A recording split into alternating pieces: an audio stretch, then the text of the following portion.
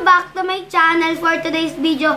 Ang gagawin natin ay maki-Q&A tayo. At bago tayo mag-Q&A ay mag-shoutout muna ako ng aking isa-shoutout. At kung gusto niyo magpa-shoutout sa akin, comment lang kayo sa baba, sa comment section. At huwag niyo kalimutan mag-subscribe sa akin and like tong video na to. So, shoutout na ako. Shoutout kay Manolito Martinez. Shoutout kay Jaina Dinis Matencio. Shoutout kay The Last Night. Shoutout kay Janus Madriaga. Shoutout kay Dwayne Allen Kakapit. Shoutout kay Ens Daniel. Daniel. Shoutout kay Kibbs Wakins. Yan. So, kru, kru, kru. Magsimula na tayo. Let's on go to the... So, yan. Unang tanong. Galing kay Malubaylon. Ilang taon ka na? 10 years old na po ako at pinanganak po aking pinanganak po ako ng aking magulang. Siyempre. Galing naman, pangalawang question, galing naman kay Stephen Cortez. Kailan ka pinanganak? Pinanganak po ako nung September 10, 2009. So, nasabi ko po, 10 years old na nga po ako. Pinanganak po ako ng aking magulang. Yeah! pinanganak pala ako. Kinanganak ako. Pinanganak. so, ito. Pangalawang tanong. Saan, ay, supportive, ay, pangat, tatlong pangatlong tanong.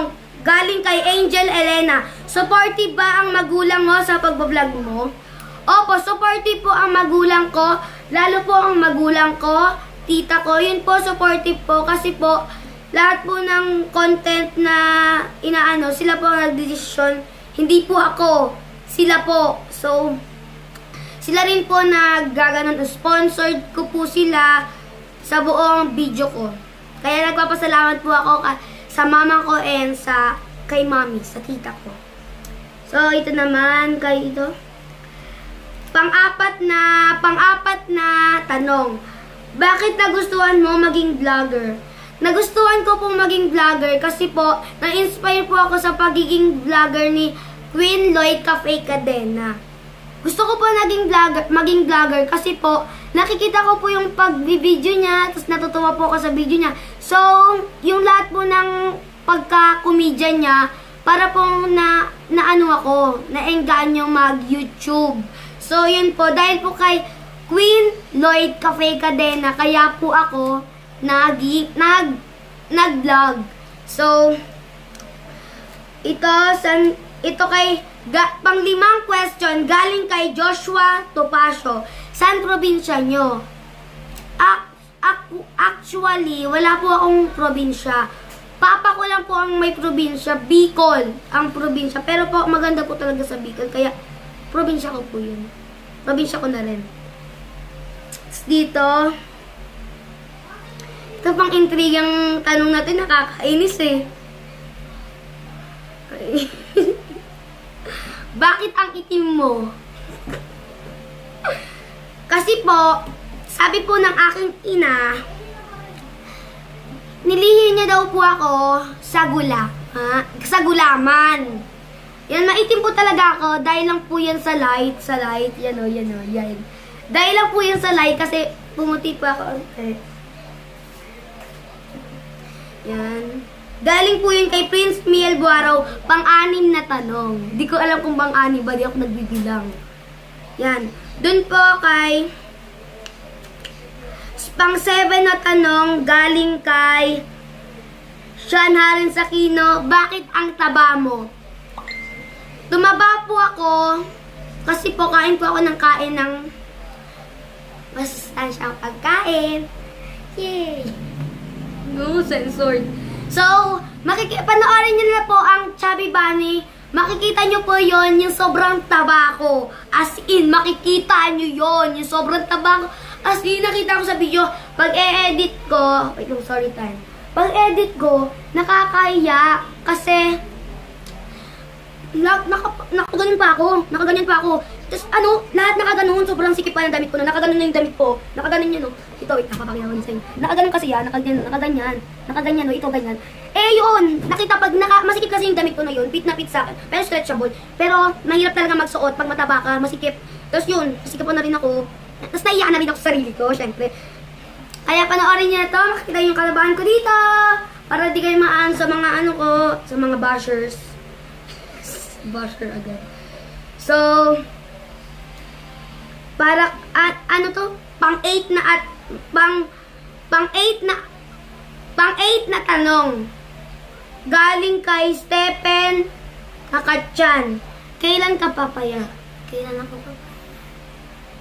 Kruk, kruk, kruk, kruk, kruk,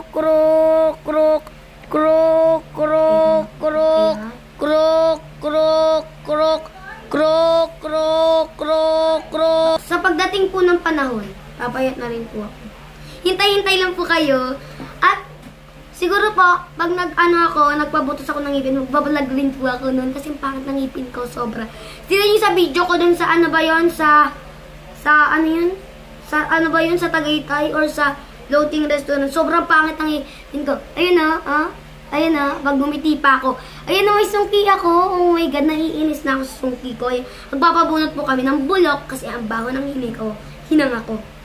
So, galing naman kay Laila Bailon Gresos, pang-anim na ay pang pang-nine na tanong. Ganda ka ba? Dalagang Pilipina, yeah. Isang dalagang Pilipina. Dalagang Pilipina, yeah. Isa... Kayo na po manghusga. Kayo na manghusga. Diba Kasi pag sinabi ko, nakakaan naman eh. May version na naman lumabas.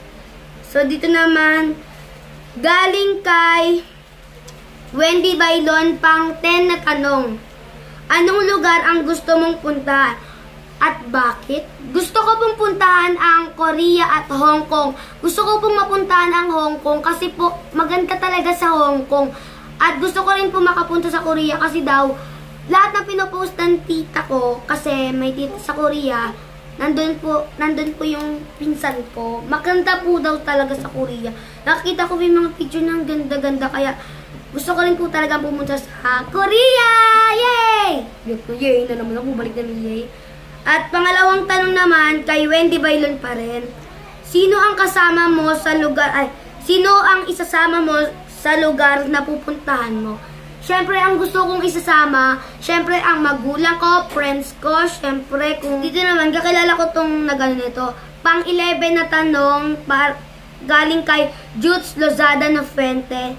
Anong orasyon ang magpapatigil sa amin sa pagtagay namin namin nila lola mo Malubay Don Gigi, tapos Rosemary. Siguro po, ano, tumahimik na po kayo sa pagtagay niyo, no? Kasi po nai-stress na talaga ako. Yung lola ko kayo, ang sarap batukan. joke lang, joke. Love you, ma. So, yun.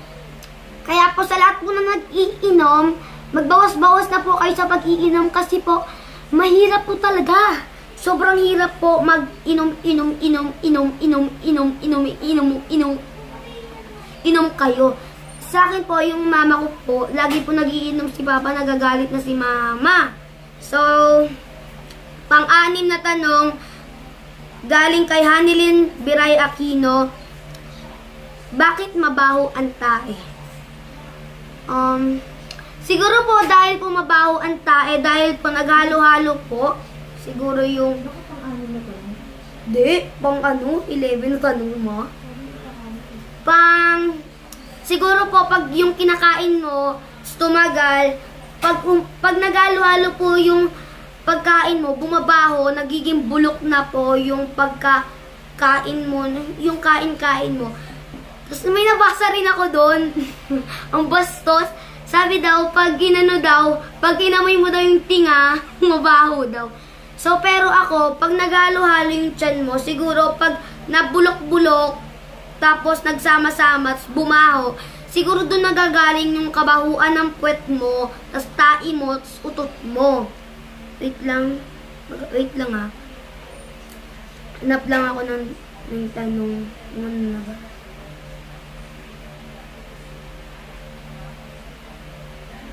Ayun! Kung girl ka ba o boy? Um, um, ano po, ang hirap mag, ano, Siguro po, bot.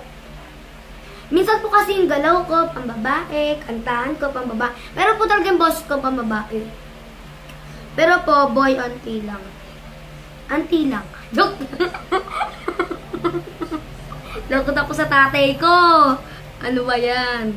So, kanino yon Kay Lilibet Gresos Benson. My God, di ko na nasabi. Pang ano to? Pang 13 o pang 12? Sige, pang 12 na lang. So, yan. So, ang nag-ano lang naman sa akin, nag-comment lang naman, 23, 23 comments, pero iba, hindi naman talaga nag-comments, naloloko lang talaga siya, day. Ay, umingay, day. So, kung, so ngayon ay tapos na ako sagutin ang question nyo, shoutout ko na rin yung mga nag-comment dito. Shoutout kay Laila Bailon Greso, shoutout kay Malu Bailon, shoutout kay Stephen Cortez, shoutout kay Liliben Gresos Benzon, shoutout kay Stephen Kakatyan, shoutout kay Hanilen Biray Aquino, shoutout kay Joshua Topacio, shoutout kay Angel Elena, shoutout kay Atina Sambilay, shoutout kay Sean Harens Aquino, shoutout kay Prince Miel Barrow, shoutout kay Wendy Bailon, shoutout kay Juts Lozada ng Puente. So, lahat po na ng-comment, shoutout ko na po. So, thank you for watching this video. Kung natuwa kayo sa video na to sa mga tanong ng aking mga fans, fans ba talaga yun? Nakita ko lang. Kung natuwa, kung natuwa kayo sa, kung natuwa kayo sa mga tanong ng aking mga fans, huwag mong kalimutan mag-subscribe and mag-thumbs up. 拜拜。